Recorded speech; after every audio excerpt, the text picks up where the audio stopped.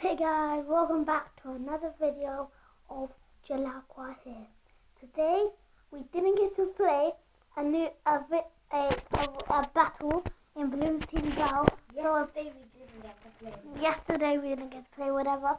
And now this is I think part three and we're actually gonna play about two games. So let's get into it.